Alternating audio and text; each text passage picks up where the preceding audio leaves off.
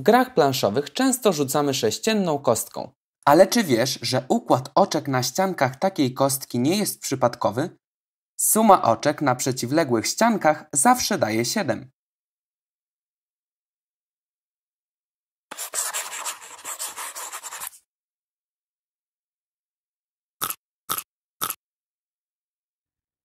Gdy gram w gry planszowe, najczęściej spotykam się z sześcienną kostką. Taką jak pokazywałem przed chwilą.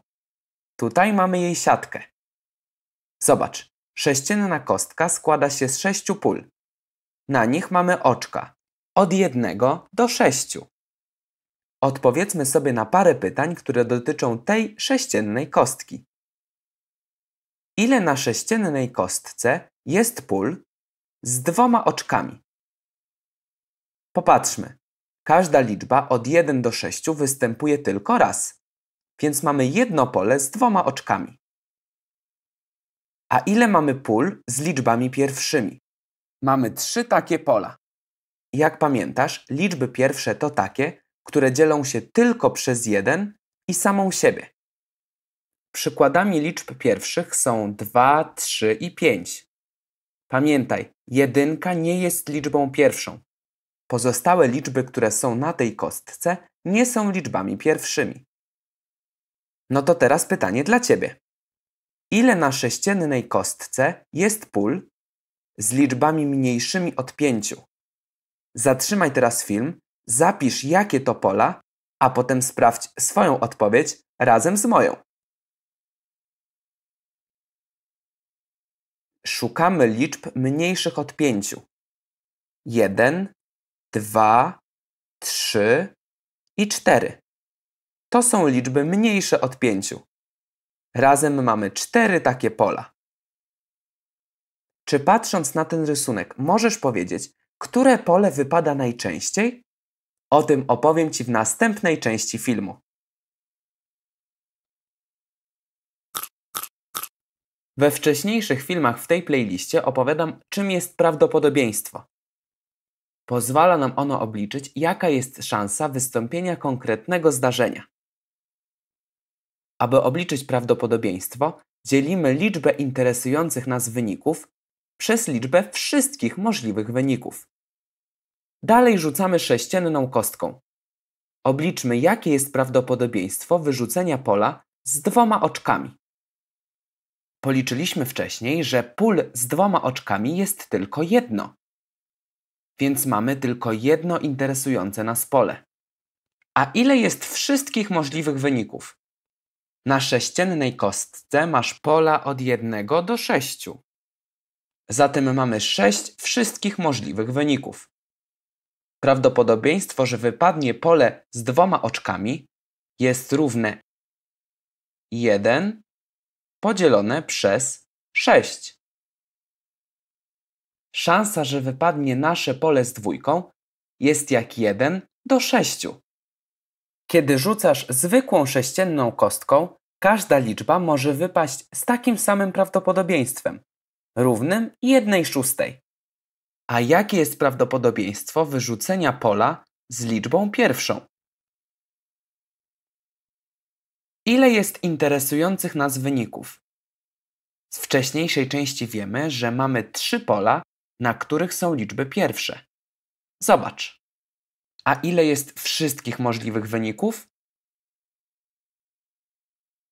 Dla sześciennej kostki wszystkich możliwych wyników jest 6. To jakie jest prawdopodobieństwo, że wypadnie pole z liczbą pierwszą? 3 podzielone przez 6, czyli 3 szóste. Możesz uprościć ten ułamek i otrzymasz wtedy jedną drugą. Szansa, że na kostce wypadnie liczba pierwsza jest jak 1 do 2, czyli pół. To teraz pytanie dla Ciebie. Jakie jest prawdopodobieństwo wyrzucenia pola z liczbą mniejszą od 5? Z poprzedniej części wiesz już, że są cztery takie pola. Zatrzymaj film i policz, jak dużą mamy szansę. Ile jest interesujących nas wyników. Chcemy mieć liczby mniejsze od 5. I są cztery takie liczby. A ile jest wszystkich możliwych wyników na sześciennej kostce? Sześć. Mamy sześć pól od jednego do sześciu.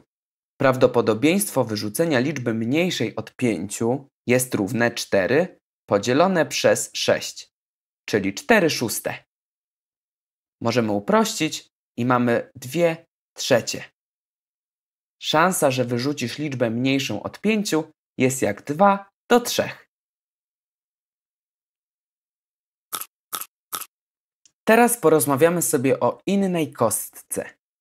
Widzisz tutaj kostkę, która ma 20 ścian. Na każdej z nich znajduje się liczba od 1 do 20. Takie kości używane są w bardziej skomplikowanych grach planszowych. Odpowiedzmy sobie na parę pytań.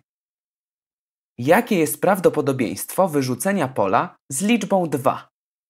Prawdopodobieństwo możemy obliczyć dzieląc liczbę interesujących nas wyników przez liczbę wszystkich wyników. Na kostce dwudziestościennej każda liczba występuje tylko raz. Mamy jedno pole z dwójką. A ile jest wszystkich możliwych wyników, gdy rzucamy taką kostką? Mamy 20 pól, więc wszystkich takich wyników jest 20. Prawdopodobieństwo, że wyrzucimy pole z liczbą 2 jest równe 1 podzielone przez 20. A jakie jest prawdopodobieństwo wyrzucenia pola z liczbą dwucyfrową? Większe czy mniejsze od poprzedniego?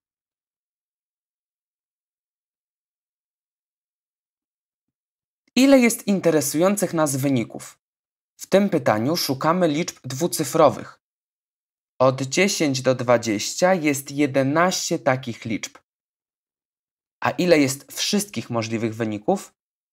Na kostce dwudziestościennej masz 20 różnych wyników. Prawdopodobieństwo, że wypadnie liczba dwucyfrowa to 11 dwudziestych. Zauważ, ten ułamek jest większy od tego ułamka.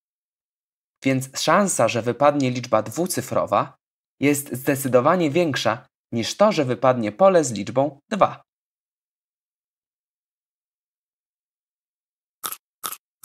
Czas na ostatni przykład kości.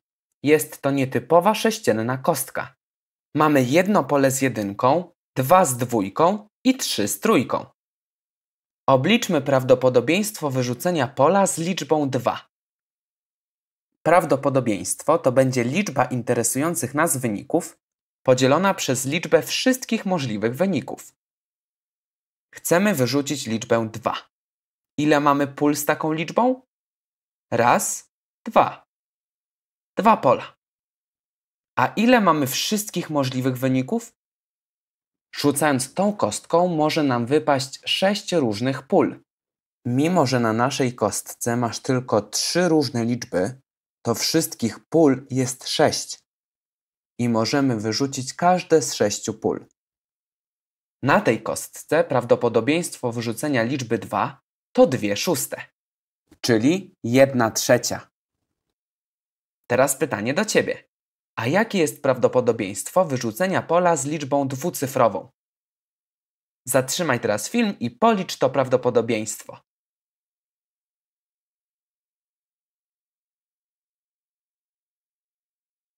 Ile mamy interesujących nas wyników?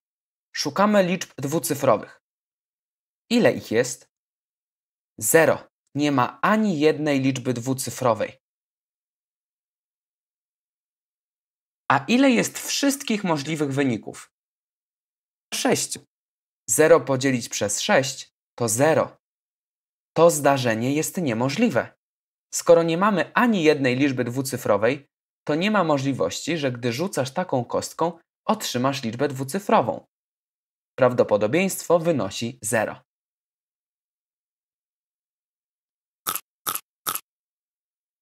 W sześciennej kostce do gry każda z liczb może wypaść z takim samym prawdopodobieństwem, równym 1 szóstej.